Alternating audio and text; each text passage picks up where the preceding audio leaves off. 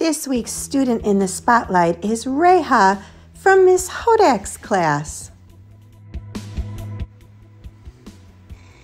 Today is the day to learn something new. Do you know how to turn your vision into reality? You do it by having a set plan and never giving up.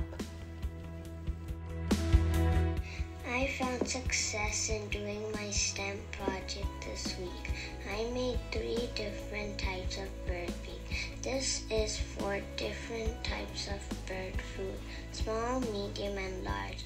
I am very happy with what I did. To find success, you need to be positive, have patience, and be persistent. Don't stop till you're proud.